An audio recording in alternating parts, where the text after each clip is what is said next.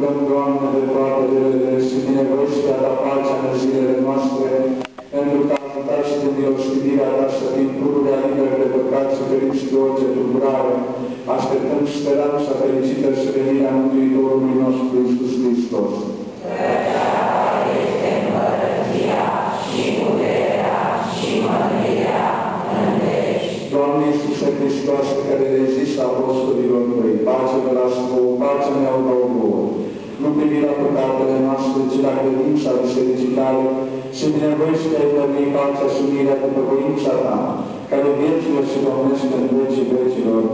Amin. Pacea Domnului să fie pururea în voi. Și Doriți-vă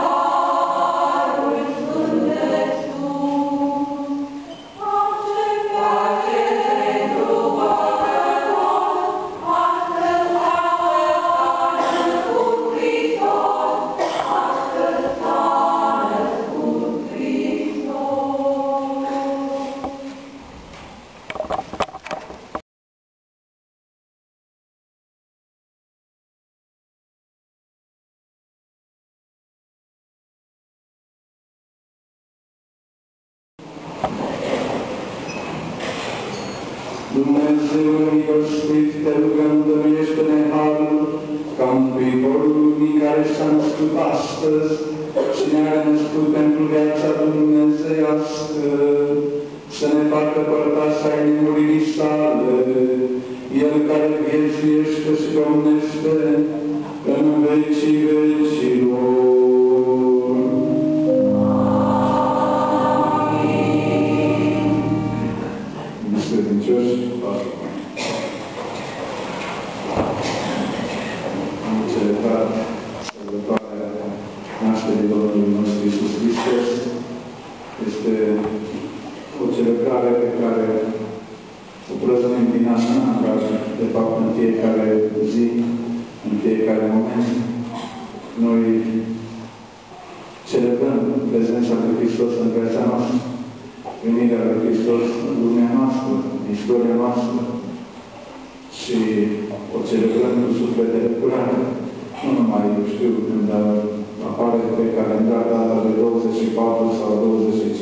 25 decembrie, ci în fiecare zi și mai ales duminica. De aceea doresc ca această prezență la Sfânta Liturghie, pe care a fost la liturghie precedente și în noaptea de Crăciun, să fie întotdeauna prezență vie. Mai ales că biserica aceasta este prea mică pentru numărul de credincioși, dar pentru duminicile obișnuite încă este prea mare. Nu vrei să facem o biserică și la starea bateriei, știți foarte bine. Dar dacă numărul mic din cursul anului, nu știu dacă justifică prezența acestei biserici, tocmai de aceea noi trebuie să avem biserica în sufletele noastre, dar și aici, în acest loc, ca o mărturie a credinței noastre. Noi trebuie să mărturisim credința în Hristos, să trăim bucuria prezenței de Dumnezeu în viața noastră. Nu să rătărim mai tradiții, obiceiuri, eu știu, din an în an, ne spune și la Crăciun, nu la, la Curușor, din an în an, din curată, cu Crăciunul cu asta, Corin, dar noi să sărbătorim în fiecare moment, numai din an în an. Deci, cei care s-au spovedit de Crăciun sau de Paște, Hristovesc în fiecare duminică. Celebrăm același misterul răscumpărării prin învierea lui Hristos, dar și misterul răscumpărării, care este la Crăciun, nașterea Domnului nostru Iisus Hristos. De aceea mulțumim pentru comuniunea dumneavoastră. M-am spus și la liturgia noastră de înviere. Vreau să repet aceeași salutare pe care am spus-o și atunci, în mare parte dintre dumneavoastră a spus și atunci dar o transmit și acum acest gând de pace, de bucurie și de credință din partea noastră, din partea Bisericii. Și Dumnezeu să știți că vă așteaptă întotdeauna, vă așteaptă aici în Biserică, vă așteaptă să dați mărturie și în afara Bisericii. Dumnezeu să vă plătească și să vă păzească pe calea vieții. Mulțumim celor care au făcut sărbătoarea frumoasă, am spus și în de, de Crăciun, deci acum noaptea trecută, despre cazul care a fost oferit de primărie, să vedem ca primăria să ne sprijine în continuare cu proiectele pe care le avem pentru noi toți.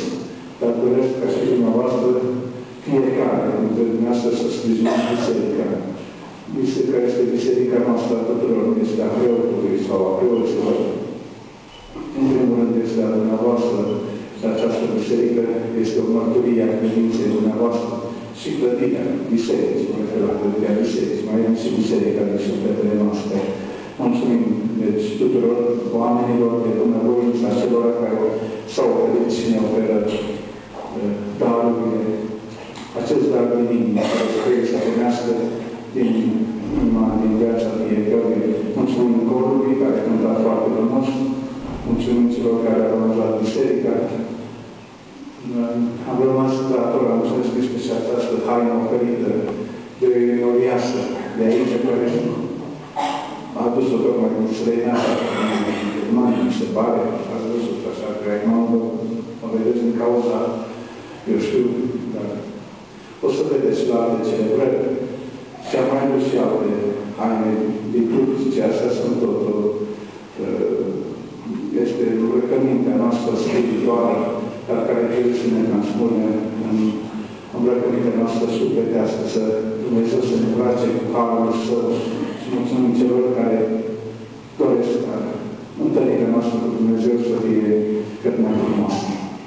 Părintele Pavle mi-a spus și mi-a spus să nu uit, deci acum cu căsătorile, ă, cei care, eu știu, vor să se pună la punct cu căsătoria, să nu vor să mai luăm sunt foarte mulți în biserică, am slăsărit să se căsătorească în biserică. Și dar înainte că se ducă de la pregătire. Aceasta